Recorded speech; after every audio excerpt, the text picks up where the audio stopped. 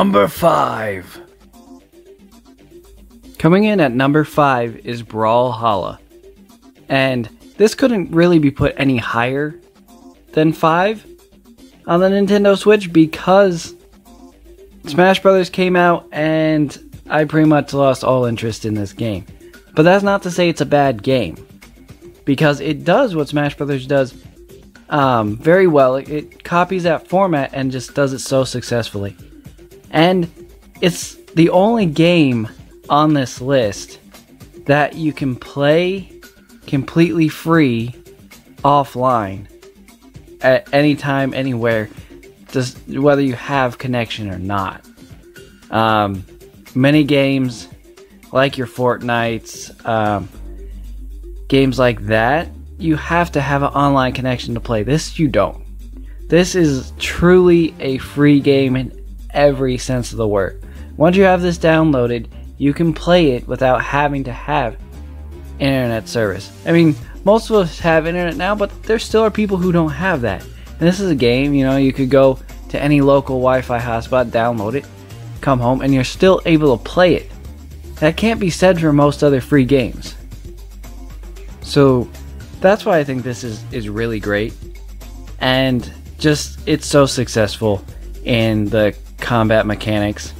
It has its own competitive circuit as well.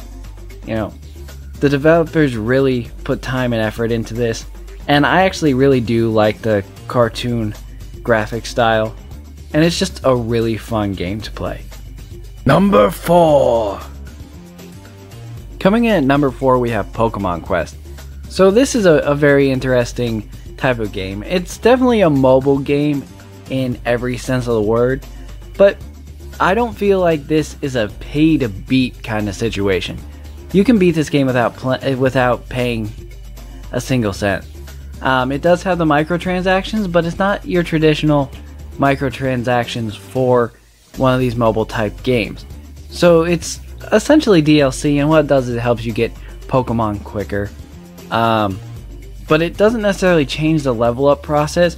And yes, there's a, a timer kind of situation. You can only play um, X amount of um, dungeons without um, getting more tickets. But you earn so many that you can just keep buying plays without having to pay any money. Like you just constantly are able to unlock more playtimes. Like I, I've played it for several hours at a time without having to wait. And it's just a really good time waster. Um, and plus, like, when you're grinding and you need to level up, you can just let it play itself. So, you know, put it in one of those easier levels, have them just every time you, you, uh, it ends, you just go click it, start it again, and you can grind up without having to play it. And you can be doing something else.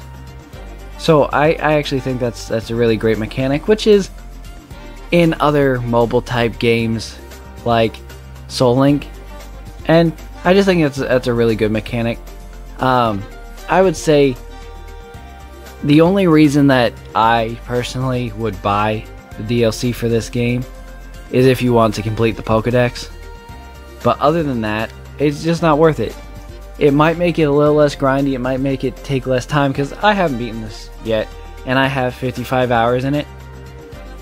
But honestly, you can have that this game going if you're watching Netflix or something like that. So I wasn't actually wasting 55 hours of my time trying to grind through this game.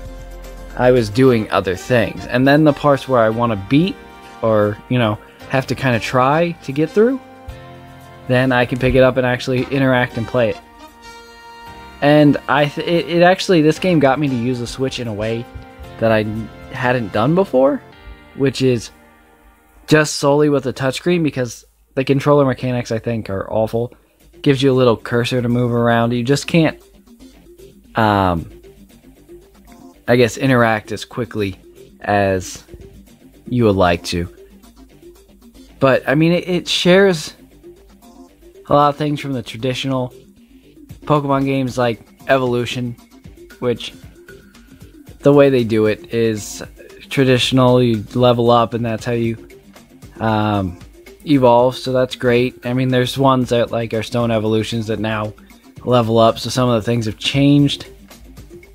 Um, but it's just it's really fun for this style of mobile game, and I guarantee if you give it a chance, you'll definitely put some hours into it.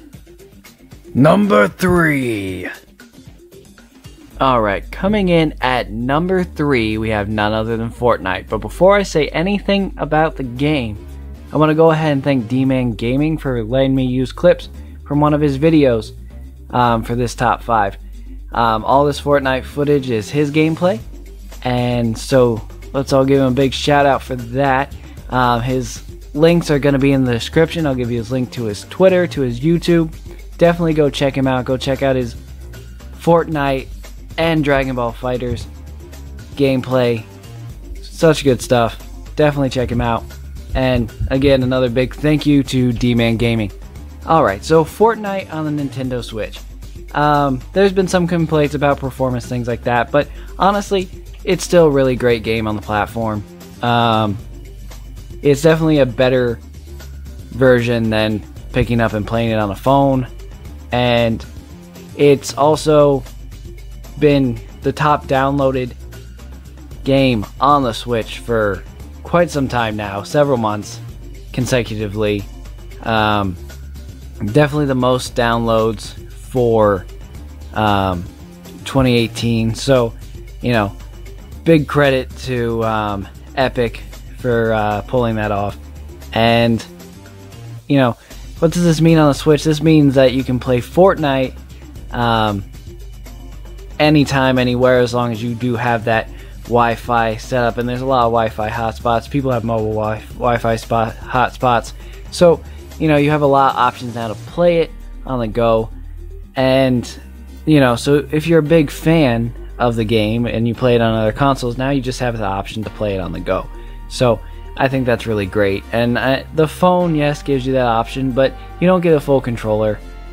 Um, for that, you just have the, the touchscreen. And I, I think there's a lot to be said about being able to have a controller instead of um, the touchscreen on a phone. I, I'm not a big fan of, of phone gaming. Like, I have pointed out games on the Switch that I do like the touchscreen for, but I'm still using the controller for most aspects of those games, um, besides Pokemon Quest. And this game is just really cool and really addicting. I put 45 hours into it very quickly, um, and I just really enjoyed it right off the bat. It's just a really gratifying game at first. Once you get that first win, you're just really hooked, and you know it's it's fun to play with other people. It's just a really good addition to the Nintendo Switch. So if you want to play Battle Royale on your Switch, then I would go ahead right now and go to that eShop and hit that download button on this game. Number two. Alright guys, coming in at number two is Paladins, and then this is a game that I got hooked onto really quickly. I picked it up, started playing it, and had so much fun with it.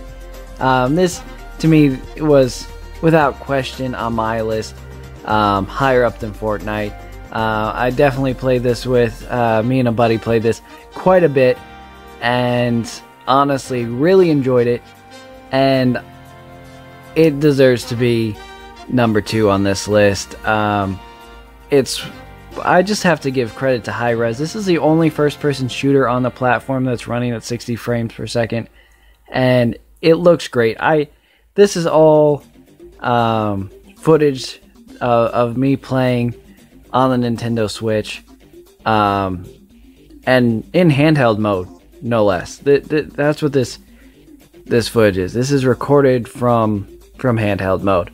So and this is how good it looks. Like Hi-Rez did an amazing job on this game.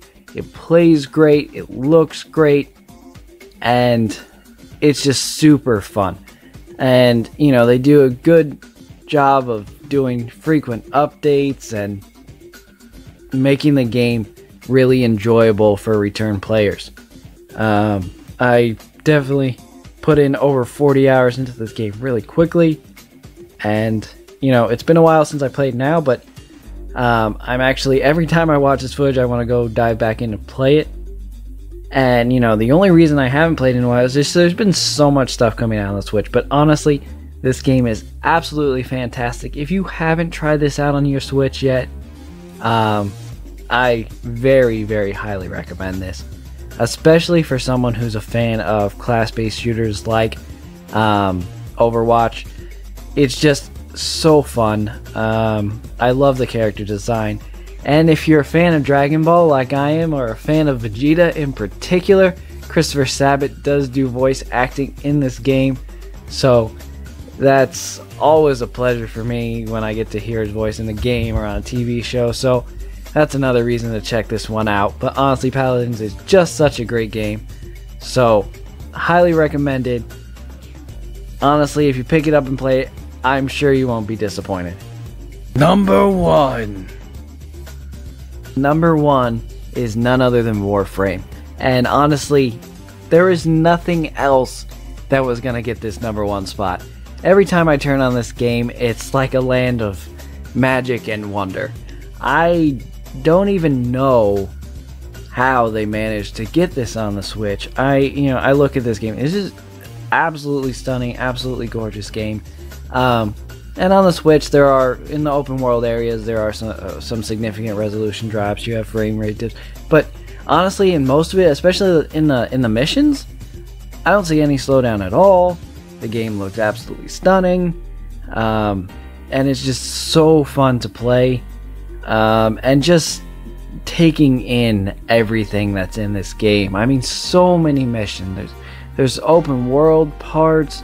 Um, it has a huge online player base. Like already, so many people online. I've never been on there and not seen people online. The servers for the open world areas always seem to be busy, and it's just so great to see this game on the Switch.